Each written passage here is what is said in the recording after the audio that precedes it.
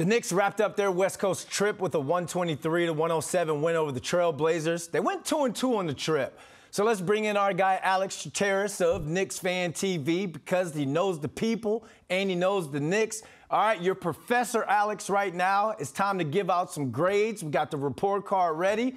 Grade this road trip on with on overall team performance. I had to get well, Brandon. First and foremost, thank you for having me on. Always appreciate talking to you and talking Knicks. Um, if I had to give a grade for this team, it'd be a B minus. You know, entering if entering this road trip after knowing that Jalen Brunson wasn't going to be available, you know, you'd want to see this team just survive. So going two and two would have been the best outcome, which is what they got. But when you watch how everything unfolded, you just saw that it was a little it was a, a, little discombobulated at times because you needed this team to show that they were still able to attack the teeth of the defense without runs. Who's known for being able to get downhill. Quickley was a little hesitant to start doing that. You wanted to see Julius Randle getting to his spots. Instead, we saw him doing a little too much at times instead of getting into rhythm. And then you just saw the struggles from like RJ to start off the road trip, Quentin Grimes, even Mitchell Robinson. Mitch had a very difficult West Coast trip. But at the end of the day, they were able to come out two and two. So you gotta give a B minus for the heart and effort and speak about Hart, Josh Hart, Isaiah Hartenstein, the entire bench just stood up for this entire Knicks team. So I gotta give it a B minus overall. Ooh, if I would have got a B minus in high school, I would have been grittying all over the screen right now. But when you're going for a playoff run, I don't know if that's a good thing. You meant uh, you you mentioned Hart, Harten, uh, Hartenstein, those guys. Who showed up and who went missing?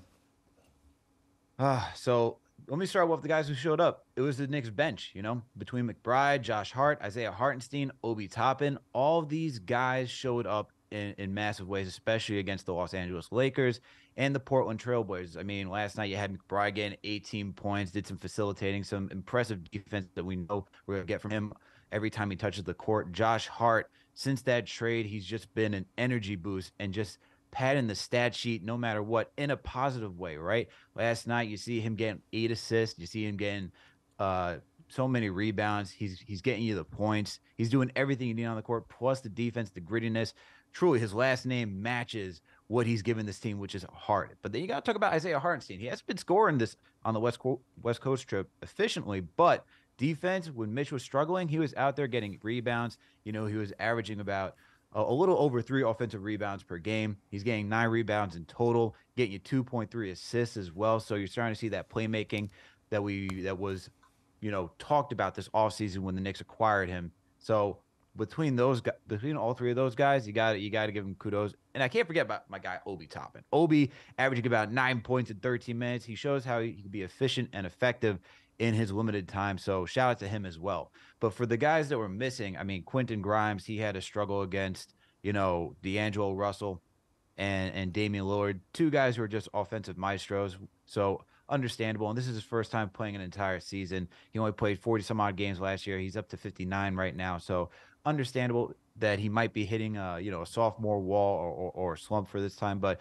we're really going to need to see him come around if the Knicks are going to make that playoff push. And then Mitchell Robinson, you know, he had a tough time uh, guarding Domantas Sabonis, Joseph Nurkic, Anthony Davis. Um, so all those guys gave Mitch some some issues, and we're going to see need to see Mitch bounce back as well. But like I said earlier, thanks for Hartenstein. And I won't say that these guys went missing. But I'll say that these guys struggled because you saw Julius Randle. It's hard for him to get into the game without uh, Brunson. Immanuel Quickley, like I said, didn't really attack the teeth of the defense. RJ Barrett started to get his legs going uh, once the Lakers game came around, but he had a rough start to start the West Coast trip as well. Mitch Rob got to stay off Snapchat as, as well. Uh, all right, that's, 11 that's games true. left in the season. What do you take? What do you want to see from this team? Ah, so you know, they're two and two without Jalen Brunson right now on this West Coast trip. Five, five of five of four without Brunson on the season as a total. But with 11 games left into the season, you know, I'm looking for this team to continue to battle, get the fifth seed, um, and just maintain that playoff like push because that because you need to see this team continue to be a high efficient offense when Brunson comes back. And going into the postseason, that's what they're going to be doing, man. You know, you're going to see Jalen Brunson, you're going to see Julius Randle being those ISO experts, And I want to see through the remainder of the season that they can maintain that offensive explosiveness while maintaining that strong defense. Now, the defense is a Tom Thibodeau led team. We saw after he made the nine man rotation change, there's still been a solid defense. So we're not we're going to get that on a nightly basis. But that offense, what we saw during that nine game winning streak, that needs to come around. And that's kind of been wavering a little bit without Jalen Brunson. But we don't know when Jalen Brunson's getting back. But I need to see this offense uh, back to being explosive the way that it was. All right. Alex, thanks for joining us. Thank you.